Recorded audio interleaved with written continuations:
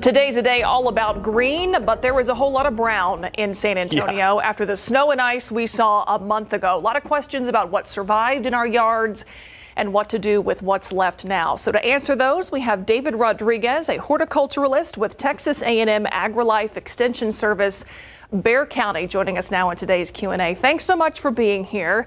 First Thank question, first question to you. How do you know if something made it or not at this point? Yeah, you're right. It's been about a month, and uh, we're on the right track. Today's St. Patrick's Day, so we need to start greening up, and spring starts Saturday. So we've uh, been really very unusual hard freeze that we had, and uh, we can kind of talk about palm trees. You know, palms in general, and sago palms, which are like uh, palm-like plants.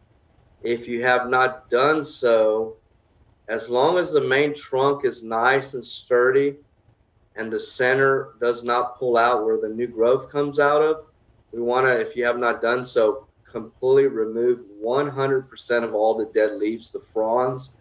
If there's any green, just leave the green. And like palms and many other plants, uh, we'll say early May. If the new growth doesn't come out by May, we might have to do some uh, replacements at that time. And then uh, citrus, you know, a lot of people grow a lot of citrus yeah. trees around here. And our valley didn't get hit hard in our grapefruit industry, but a lot of backyard gardeners are probably going to lose a lot of citrus trees. So on citrus and a lot of these um, evergreen shrub types, um, go ahead and cut into with your fingernail in the wood, the bark, and if there's any green on it, uh, wait on citrus until new growth tries to push in the springtime. Um, citrus are grafted trees and have a very aggressive rootstock. And we're going to see a lot of the shoots emerge from the very bottom. And we don't want that to take the tree. So we need to, to remove those for sure. And David. only prune citrus when the new growth starts coming out.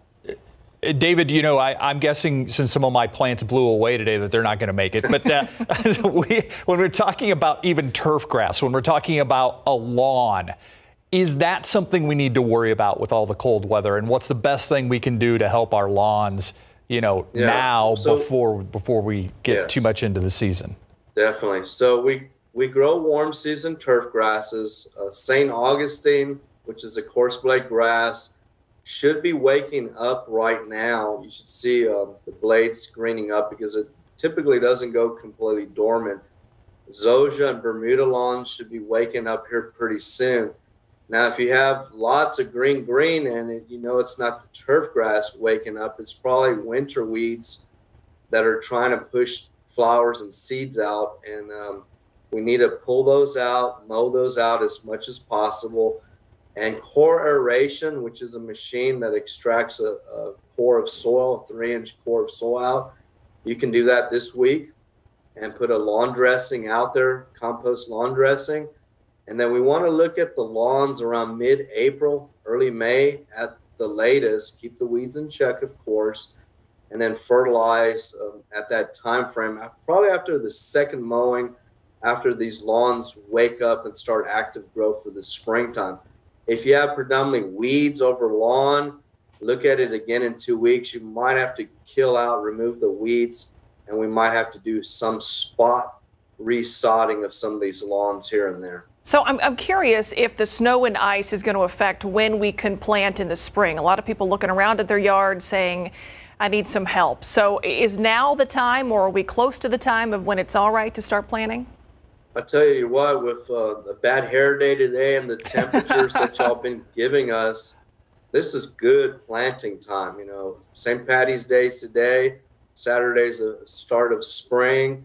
All we need uh, is y'all uh, call up some good rain for us. But I, I think it's a good time. You know, this is a good time to get your first wave of spring tomatoes planted. And but we want to tell folks on a lot of these perennials and shrubs you know, that have been cut back to the greenwood or basically to ground level, don't replace those right away. Let's wait about May. And if you don't see good active new growth return on these plants, Uh, then you might do some spot replacement in May. And then the big test on a lot of other plants, particularly evergreen shrubs, after they're cut back, hopefully to the greenwood, is if they can make it through the heat of July and August, and they have to look good in September. Otherwise, some of those plants also might need to be replaced in the fall time. Interesting. So don't replace anything right now, is basically what you're saying. Yeah, perennials that are cut back to the ground, let's be patient. Evergreen shrubs and other uh, plant species, if you see green in the bark, cut them back to the greenwood, and let's just be patient and see how they come out by May and then we'll go from there if we do need to do replacements if they don't look pretty by then. All right, so many of us in the same boat. David, thanks so much for your time. I really appreciate it. David Rodriguez, horticulturalist with Texas A&M San Antonio. And David, I'll talk to Adam Caskey and tell him you need some rain. We all need some yeah, rain for our plants. So I'll, I'll, put a word in for you. Thank have, you. Appreciate have, it. Have a great one. Pleasure being with you. you. Too. Thank you. We'll be right back.